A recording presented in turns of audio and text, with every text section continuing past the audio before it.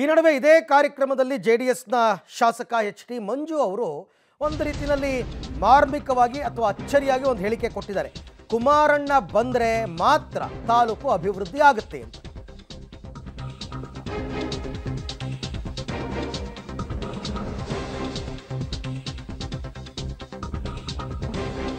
ಕುಮಾರಣ್ಣ ಬಂದರೆ ಮಾತ್ರ ತಾಲೂಕು ಅಭಿವೃದ್ಧಿ ಆಗುತ್ತೆ. ಕೆ ಆರ್ ಶಾಸಕ ಎಚ್ ಟಿ ಮಂಜು ಅವರ ಹೇಳಿಕೆ. H D K C M ಆಗಬೇಕು ಅಂತ ಪರೋಕ್ಷವಾಗಿ ಅವರು ಹೇಳಿಕೆ ಕೊಟ್ಟಿದ್ದಾರೆ. ಸದ್ಯದಲ್ಲೇ ಕುಮಾರಣ್ಣನಿಗೆ ಒಳ್ಳೆ ಅವಕಾಶ ಸಿಗುವ ಸಾಧ್ಯತೆ ಇದೆ. ಆ ಅವಕಾಶ ಬೇಗ ಬರಲಿ ಅಂತ ದೇವರಲ್ಲಿ ಪ್ರಾರ್ಥಿಸ್ತೀನಿ ಅಂತ ಜೆ ಡಿ ಎಸ್ ಶಾಸಕ H T Manju, K R Pete ಶಾಸಕ ಅಚ್ಚರಿಯ ಹೇಳಿಕೆಯನ್ನು ಕೊಟ್ಟಿದ್ದಾರೆ. ಅಭಿವೃದ್ಧಿ ಕಾಣ್ಬೇಕಂದ್ರೆ ಕುಮಾರಣ್ಣವ್ರಿಗೆ ಅವಕಾಶ ಆಗಬೇಕು.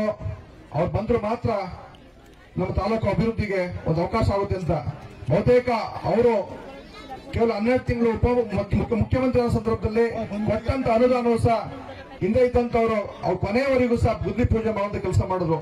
ಇವತ್ತು ತಾಲೂಕು ಅಭಿವೃದ್ಧಿ ಹಣ ಸಂಪೂರ್ಣವಾಗಿ ಹಿಂದೆ ಉಳಿದಿದೆ. ಯಾವುದೇ ರೀತಿಯ ಒಂದು ರೋಡ್ಗಳಾಗ್ಲಿ ದೇವಸ್ಥಾನಗಳೇ ಆಗ್ಲಿ ಬೇರೆ ಅಭಿವೃದ್ಧಿ ಕೆಲಸಗಳು ಯಾವುದೂ ಸಹ ಆಗಿಲ್ಲ. ಹಾಗಾಗಿ ತಮ್ಮ ಆಶೀರ್ವಾದದಿಂದ ಪ್ರಾಮಾಣಿಕವಾಗಿ ನಾನು ಒಂದು ಒಂದು ಅವಕಾಶ ಮಾಡಿಕೊಟ್ಟಿದ್ರೆ ತಮ್ಮ ಮುಂದಿನ ದಿನಗಳಲ್ಲಿ ಸದ್ಯದಲ್ಲಿ ನಮ್ಮ ಎಲ್ಲ ನನ್ನ ಬಂಧುಗಳು, ನಮ್ಮ ವೇದಿಕೆ ಮೇಲಿರುವಂತ ಮುಖಂಡರು, ನಮ್ಮ ಎಲ್ಲ ಕಾರ್ಯಕರ್ತರು ಸಹ ಇದ್ದಾರೆ. ಒಂದು ಸದ್ಯದಲ್ಲಿ ನನ್ನ ಶಾರ್ಟ್ ಟೈಮಲ್ಲಿ ಕುಮಾರನವ್ರಿಗೆ ಒಂದು ಒಳ್ಳೆ ಅವಕಾಶ ಬರೋ ಬರುವಂತ ಸಾಧ್ಯತೆಗಳೇ ಇದೆ.